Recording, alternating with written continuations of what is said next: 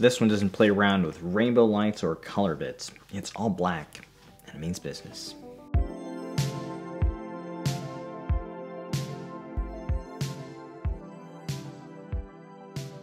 Welcome to Machines More. Probably the only deviation from that script is the slightly fruity sounding 4 Pro moniker here, but I think we can let that one slide, right? So a big thanks to Be Quiet for providing the test samples today. Full disclosure, this is an independent review, and I'm not compensated by Be Quiet for it, and all review findings and testing methodology, it's independent. All right, so a whole slew of high-end performance options released from Be Quiet, but it boils down to a 120 millimeter and a 140 millimeter model, and there's just differing max RPM limits and included accessories. Now, arguably, I think the 140 millimeter option, it's the more remarkable release simply because contenders in that space, they're far and few. But the real fight is in the 120 millimeter arena. This one is targeted at the highest end, so we'll be pitting the new 120 millimeter Silent Wings 4 Pros against the best in class from Noctua and Phanteks, and we'll find out today whether this fan is up to the task. We'll also check out the regular Silent Wings 4. Now this, this flagship one, it wears the Pro designation, but other than a few quality of life improvements, you know, like these radiator specific corners, this uh, braided cable, I think a lot of you will be just as happy with the Silent Wings 4 PWM in the high speed version because uh, for all intents and purposes, they're the same fan. So quick highlights, the Silent Wings 4 family, it's the continuation of the Silent Wings family from Be Quiet. They're billed as a version 4 here, but they've gone through a very serious redesign compared to the version 3. These blades, they're a lot more curved. You got a lower tip to frame clearance, and you've got uh, you've still got those airflow grooves that Be Quiet puts on a lot of their fans. And yeah, this design, it definitely puts it a lot closer to the appearance of the Phanteks T30 and the Noctua NF-A12 by 25. The 140 millimeter version has seven blades, uh, nine blades on the 120 millimeters, just like the Noctua. Although these blades they're a bit wider.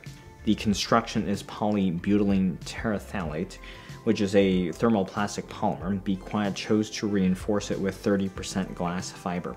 It does feel quite supple. The blades are not quite as thick as the Noctua or the Phanteks.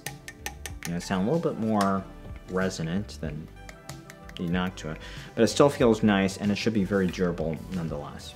One nice detail on this frame is the uh, rubberized material around the circle opening of the blades, which will serve to reduce vibration. Also has a sealing effect, well that depends on the application of course. We've got a six pole motor, fluid dynamic bearing, and the spin, it's quite satisfying and there is no axle play, so it's solid. Depending on which version you get, there are a few RPM range differences. It's quite a number of SKUs uh, between the 120mm and 140mm versions, but for the higher end target market for these fans in the 120mm versions, I think most of you, you should just be considering either the PWM high speed version of the Silent Wings 4, and this one goes up to 2500 RPM, or the 4 Pro, and this one goes up to 3000 RPM with a three-way toggle switch. And so even keep in mind, even if you get the highest speed fan, you can always set fan speeds and curves in your motherboard or with a fan controller. So the higher speed version is just more versatile. And with this one, it's just easier to limit it if you do need to. You don't get any cable adapters like you do with the Noctua, but you do have the switch on that fan itself. Now I do wish that the switch were on the perimeter of the frame as opposed to the exhaust side of the fan, making for easy access regardless of which side you have this oriented. For example, if you have it installed on a radiator, pushing air through the radiator, you won't be able to access that switch. But of course the Phanteks, it suffers from the same placement. And realistically though, I don't anticipate that this is a frequently accessed function though. It's more of a set it and forget it type of thing, so it's not a big deal. The 4 Pro, you've just got these nice radiator specific corners and they click into place really nicely. It's a cool system that's interchangeable. And a very nicely finished cable connector and cable. And this one is high, it, it feels high end. It's the same similar material to, to what you would sleeve um, cable with. So I think this one's high end build already. And uh, compared to the Nox, something like the Noctua, you've got uh, just a more simple sleeve here with heat shrink, and it's just definitely not as nicely finished. Comparing these two though, between the Silent Wings 4 and the Pro, The core of the fan, it's basically the same uh, with the difference in that RPM, of course, but uh, these do only come with a standard screw mount corner or one that allows for push pin installation. And uh, both these will come with black fan screws to finish off. Now these are nice looking fans, but the proof is in the pudding, so let's just go to this fight here. To test, I mounted these on a 240mm AIO rad. This is the one we used in the AIO fan comparison not too long ago, the Sapphire S240. And it's an Asetek unit. It's pretty typical rad, pretty typical, uh, typical fin spacing. So the performance, it's a good reference point for liquid cooling users. Two noise levels I'm testing at for noise normalized testing. One is a lower noise optimized level, which is one decibel above the noise floor. This is just past the point where you can start hearing the fans over the rest of the system.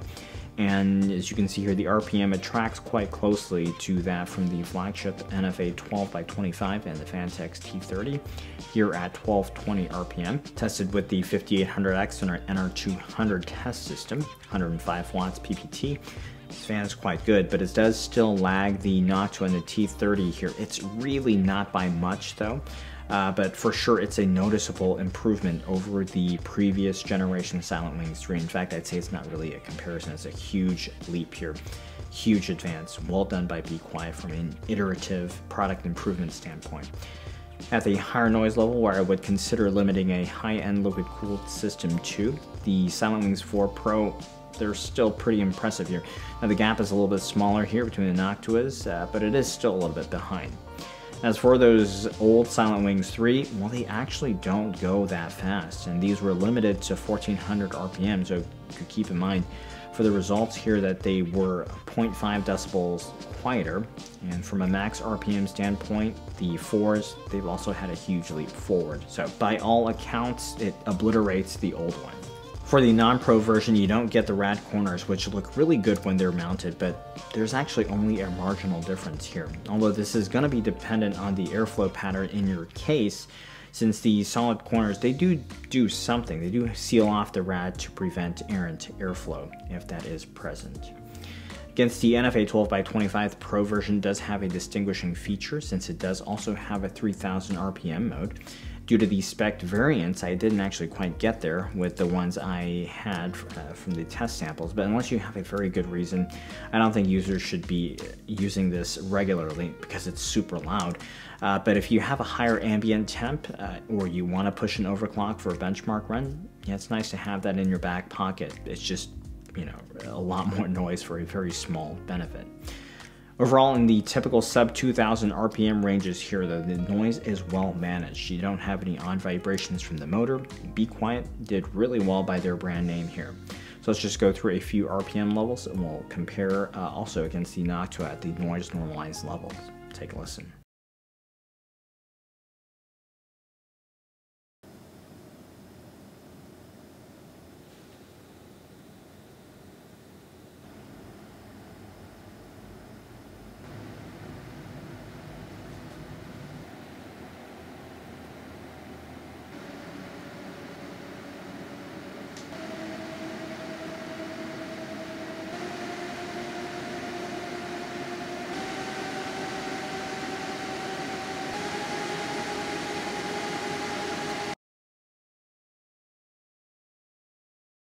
Pretty good, right? With the blade design being similar here with similar RPMs at the same noise level, I think the more or less one degree gap we saw in the test uh, compared to the NFA 12 by 25, it's owing to a few subtle differences. Uh, the Silent Wings, they improved to 1.0 millimeters for their tip clearance, but the Noctua still has a 0.5 millimeter advantage because it's, it's spaced at 0.5 millimeters. And you still have more supple, you have thicker blades with both the Noctua and the Phanteks, and while the blade design is really similar in appearance, I did note the Noctua design that features narrower blades with a bit more spacing in between them. So to answer the question we set out to today, in terms of performance, we can't crown a new king just yet, but since it's really close, there are some other factors you might want to consider. The Pro version's MSRP at launch is supposed to be about $31. That's a dollar less than the current price for the tan and brown version of the Noctua, and $2 less than the Chromax version. The price of the Phanteks is supposed to be a dollar less than this one, but that has been fluctuating depending on the availability. At the end of the day, they're all within a dollar or two of each other. But here's the kicker, if you just want the performance or if it's just a case fan application and you're fine without the more finished looking radiator corners, I would simply go for the non-pro version. Now that sounds bad, uh, saying it's non-pro, but I mean, these are essentially the same fan, just with fewer uh, finishing touches. And this one in the 120 millimeter PWM high-speed SKU is the one I'd go for since this one will get you up to 2500 RPM, which is more than enough for most systems, and the MSRP is only $23. So even though the flagship here is the Pro version, I think this is the star of the 120 millimeter show because it fills that gap in that 20 to $30 space that doesn't really have any great contenders right now. Not everyone needs the absolute best performance, and for just a small performance trade off, you get a much more affordable fan and uh, not too many fans can even get within a degree, degree and a half of either Noctua or Phanteks in similar noise normalized testing. So it's really, really easy to recommend this one at this price. And I wouldn't feel guilty deploying this as a case fan either. If you are set on spending around $30 for a fan or if this is for a high-end build, in terms of performance, then I'd still lean towards either the Noctua or the Phanteks over the 4 Pro. Uh, for me, this is a close third place in terms of performance in, in the 120 millimeter higher hierarchy. Uh, but this one does have excellent finish quality and it's still definitely worth considering because of this really, really nicely finished cable. Uh, it's ready to go if you don't want to have to sleeve your cable. Yeah, it's all black, really, really sleek. And uh, I think they did a good job here. So if you found the review helpful, if so, please subscribe if you haven't already, give a like, links are down below.